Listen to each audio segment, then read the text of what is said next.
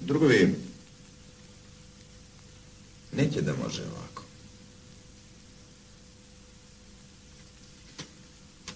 Neće slonče u lonče. Tako narod kaže. Jer imamo mi kvorum. Imamo, ali Pantić nije tu. Nije važno.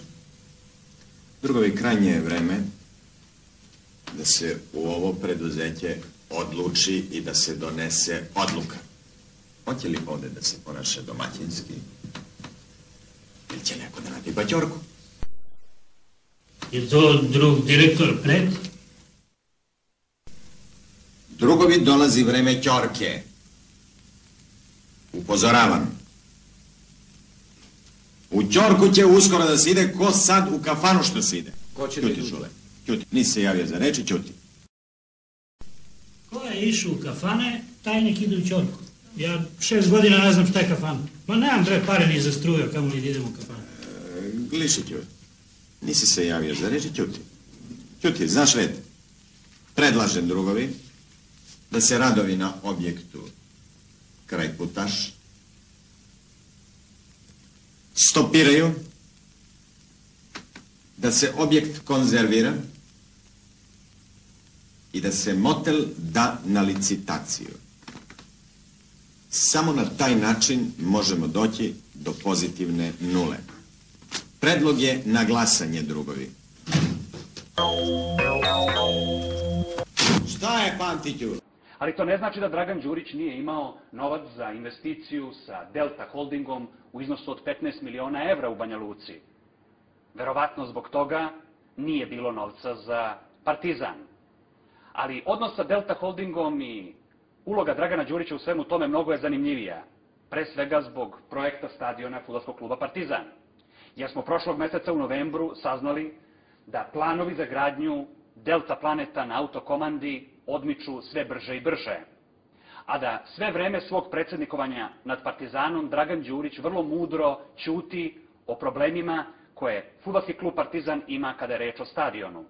Naime, i Zvezdin i Partizanov stadion blokirani su već skoro šest godina, da bi umeđu vremenu upravo ovaj projekat Delta Holdinga dobio prioritet i kada taj projekat bude završen, priča o multifunkcionalnim stadionima Zvezde i Partizana biće za sva vremena završena. Ako odeš u čorku, možeš mirno da spavaš. Jel ja moram u ćorku? Mučkao si. Mućkao sam. Jesam, ali nisam ja mućko ko ovi što mućkaju.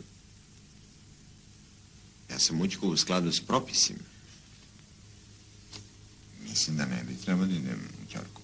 Pa ako prodaš onaj motel na licitaciji i pokriješ menice, možda izvučeš dupe. Znači da opet mućka.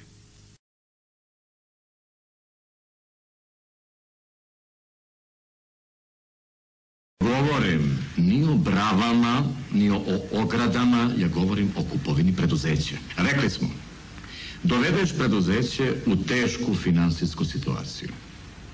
Ne plaćaš službenicima plate. Zadužiš se u tri pičke matri. Smo tako rekli? Jeste, djave. A onda nastupamo gospodin Trpković i ja.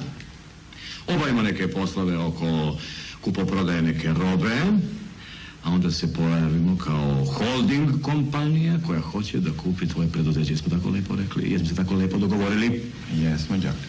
A? Morao sam, Đole. Da bi neku proviziju sebi strpao u džep. Ma nije, Đole.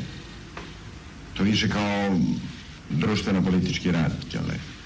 Moram, Đole, hoću da odem u Ćorku.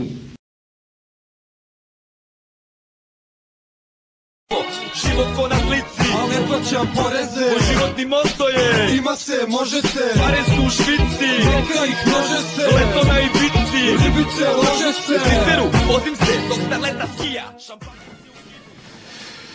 Hoće da zaglavi neku ćorku, majko. moja.